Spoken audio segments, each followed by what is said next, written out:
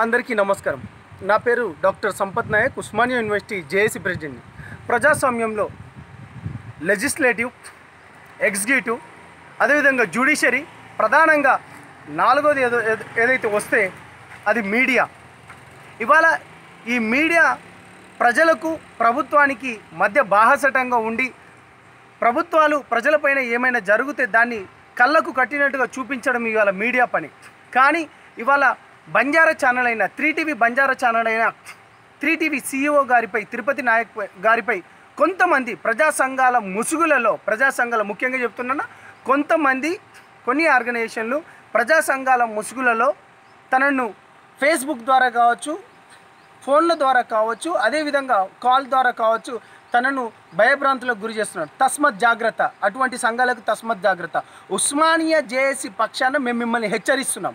Osmania JAC ఎప్పుడైతే ప్రజలకు ఏ విధంగా అయితే బాహాటంగా ఉందో తెలంగాణ ఉద్యమంలో ఎంతో విరచితంగా పోరాడి ప్రజలకు బాహాటంగా ఉందో అదేవిధంగా ఇవాళ మీడియాను కూడా కాపాడుకోవాల్సిన అవసరం ఉస్మానియా జేఏసీ పైన ఉన్నది కాబట్టి ఇటువంటి ఛానల్స్లకు మేము డెఫినెట్గా అండగా ఉంటాం. ఇకపైన ఇటువంటి హేయమైన చర్యలు మీరు మానుకోకపోతే డెఫినెట్గా భవిష్యత్తులో తగు తగు విధంగా బుద్ధి చెప్తాం అంటూ తెలియజేస్తూ ముఖ్యంగా బంజారా జాతి వాళ్ళ ఐక్యం కావాల్సిన అవసరం ఉంది.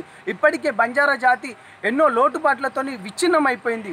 అరే ఇన్ని రోజుల నుంచి ఇప్పుడిప్పుడే ముందుకొస్తున్న బంజారా జాతిని బంజారా జాతులలో జరుగుతున్న అన్యాయాలను ఇవాళ ఒక ఛానల్ ఉందని చెప్పి మొట్టమొదటిగా త్రీ టీవీ బంజారా ఒక ఛానల్ పెట్టుకొని మొన్నటికి మొన్న సరూర్ నగర్ విషయంలో కావచ్చు కానీ ఆదిలాబాద్ విషయంలో కావచ్చు కానీ మహబూబ్ నగర్ విషయంలో కావచ్చు కానీ నల్గొండ కేసు విషయంలో కావచ్చు కానీ అమ్మాయిల అమ్మాయిల విషయంలో కావచ్చు కానీ అక్రమ కేసుల విషయంలో పైన కావచ్చు కానీ ప్రతి ఒక్కటి త్రీ టీవీ స్పష్టంగా నిశ్చిక్కుగా నిఖచ్చితంగా తన తన మీడియాతోని ప్రపంచంతోని వాళ్ళ బంజారులను మేల్కొలుపుతుంటే తనపైన కొంతమంది కావాలని కక్ష పూనుతున్నారు ఇది మంచి పద్ధతి కాదు. ఇది ఇది హేయమైన చర్య ఇది దుర్మార్గమైన చర్య.